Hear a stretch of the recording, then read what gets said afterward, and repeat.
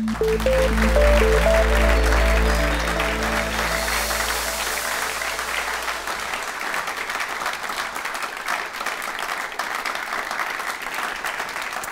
Wouter de Bie Dutch name, born here. Um, actually studied, I think 500 meters from here, I think that way, no, Hogeschool van Utrecht. Um, I'm a big data architect at Spotify. I've been working there for four and a half years, three-ish years in uh, Stockholm, uh, Sweden, and since a year and a half I'm uh, working in New York, which is awesome. And New York is a terrific city. So if you've never visited, go. Um, I'm not going to talk much about myself, but um, one thing is, I asked before to the organizers, uh, I asked the organizers before how many non-Dutch speakers there were.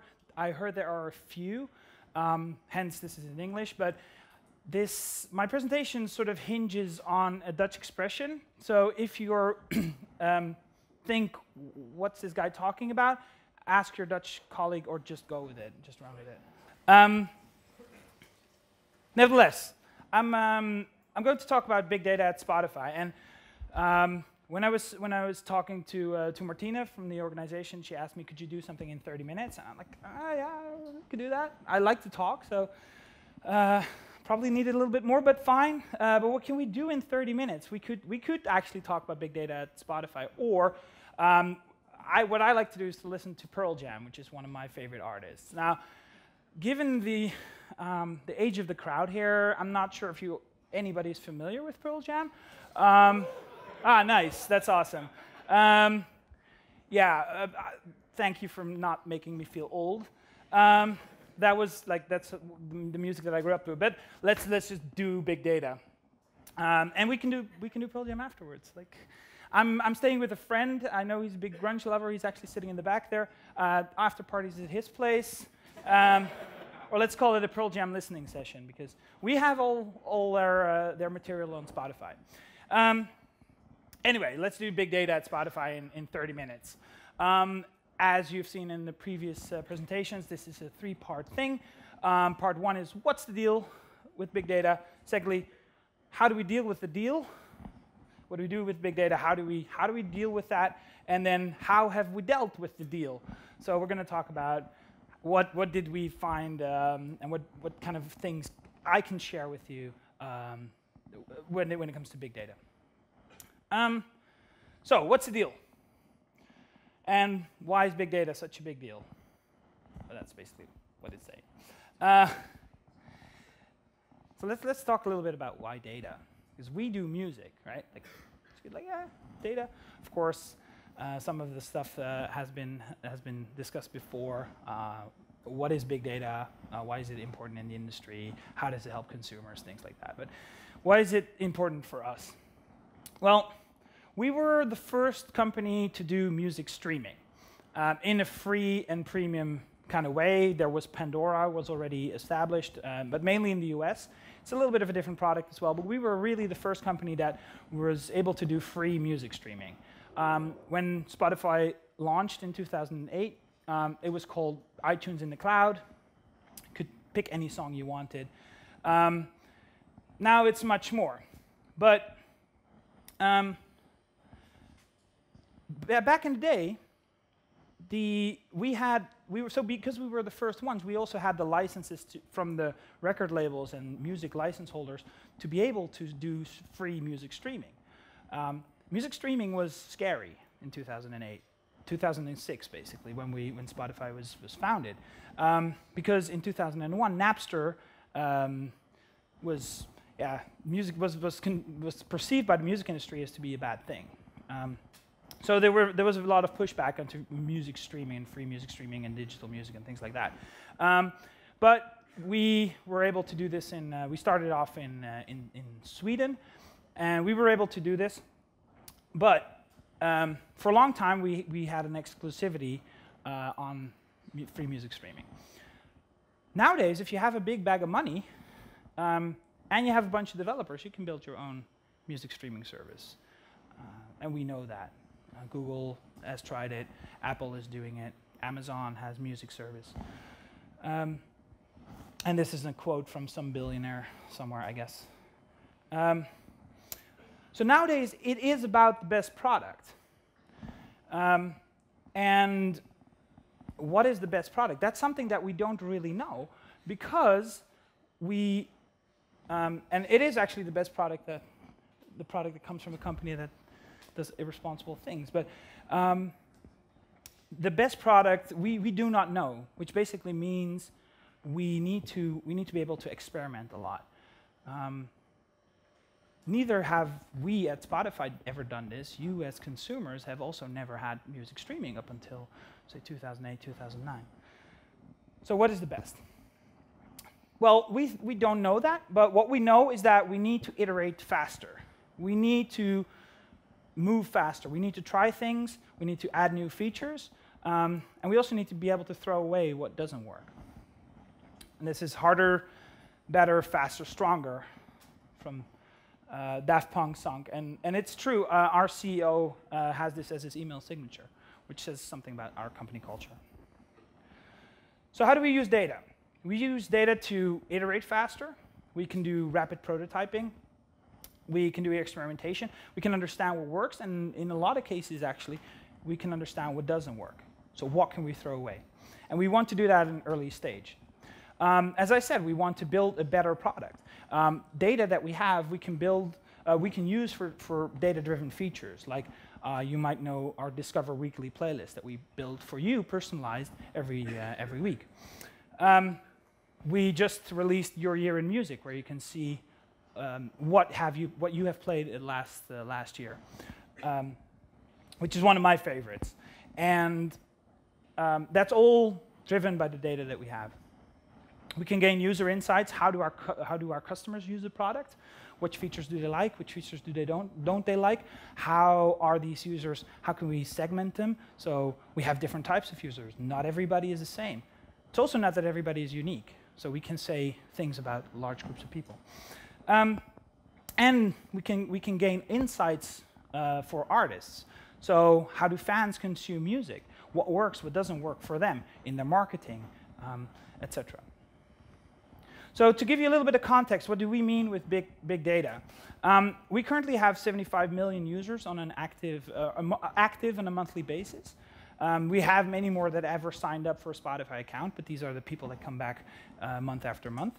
Um, we have about 30 million songs. Um, we have 1.5 billion playlists. Um, in Dutch, it's miljard.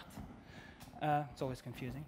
Um, and um, we generate about, like, all these users together generate about 30 terabytes a day. And to put that into a little bit of perspective, that's about a bol.com every day. so that's, um, and I, I, don't want this to be a penis contest now, but that's, um, that, that's what that means, means for us, which is, uh, which, is, which is very large. And of course, we're, um, we're, we're, we're worldwide, so you know, we have to be able to, there's, there's 6.7 or almost 7 billion people in the world, and we, our mission is to provide music to everybody at every moment. So we have to be able to, to deal with potential data from 7 billion people. Facebook is over a billion, far beyond a billion, uh, which is also potentially our market. Well, now 30 terabytes, you say. That's, that's a lot, right? So how do you make cheese out of that? This is the. Yeah. I love languages, um, and I, I love when Dutch people use expressions in English. It's just the best.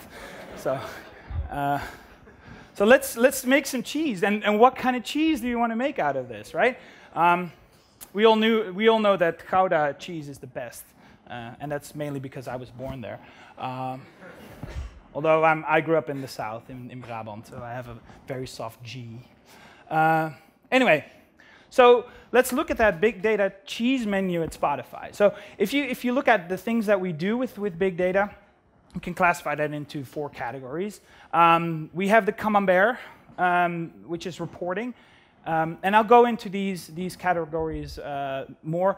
We have Cheddar, which um, is business analytics. We have a nice Roquefort, goes very well with the red wine. um, with product analytics, and of course the best, Gouda, uh, Gouda, sorry, I'm in the Netherlands, I can actually pronounce this nicely now, um, and you, I understand. Um, and we have, so we have, we, we have product features, as I said before, um, Discover Weekly. But look at the, let's look at the menu first, and then um, we'll go, um, go and eat some cheese. So, um, as I said, the Camembert reporting, um, because people need to get paid.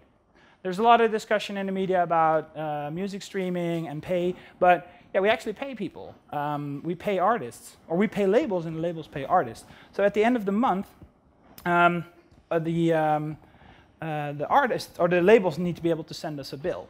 So we send them a whole bunch of data. This is what you what artists have been played, um, and just yeah, just pay us the bill. Um, we also report to other licensors and we report, report to advertisers. Obviously, that's when we send them the bill, uh, but they want to know how their ad campaigns are doing, for example, in our, in our free uh, product. Business analytics, the cheddar. Um, it's about how are we doing today as a business. Um, what, how many users do we have? How many signups do we have? Uh, how many people have left the service? Um, we, some very important metrics is our, like how active are our users. So there's a metric that we call the daily active users, DAU, and then we have a metric that's called monthly active users. Um, and if you divide the two, um, so you divide the daily active users over the monthly active users, you get what we call an engagement ratio. Uh, that basically says the amount of users that have used Spotify yesterday and also in last month. Um, and as a company, we're actually doing pretty well there. Um, product analytics are Roquefort um, to see what works, what doesn't. So we, we, um, we re release a new feature and we want to understand um, how how it works and if it works, um, what can we do better? Can we build multiple versions of the same thing? Think algorithms, um, and release those to, uh, to users. And the last thing, the Gouda cheese, um, it's actually using that, that uh, data inside the, uh, the application. So one of those things is uh, re relations, or uh, similarities. Um, it's very hard for us to determine which tracks and which artists are similar, because that's very unstructured and fuzzy data. Um, it's all about feeling how artists relate to each other. Wikipedia has might have some information about how one band was inspired by the by the by another band, but um, is that true? Is it not true? Is it true for me? I don't know. So um, that that's a problem that we try to solve by looking at how uh, how music is listened to, um, and that information is then used in the product. So we have uh, similar artists, uh, part of part of our product. Um, recommendations to be able to recommend you the music that you would like to hear, be it new music or older music, or recommend concerts. That's all, uh, all done with data, and that's something that Menno uh, talked about before, recommendation, recommending other products. It's very, a very similar uh, thing. Uh, as I just mentioned, your year in music, for each user, and it's not only for each of those active users, but I think that's a number that I'm, I don't have at hand, but think we are about 300 million users that we have in our database. Not all are active, 75 are active on a monthly basis. Um, we generate what have you listened to last year. and I'll talk about that after the break.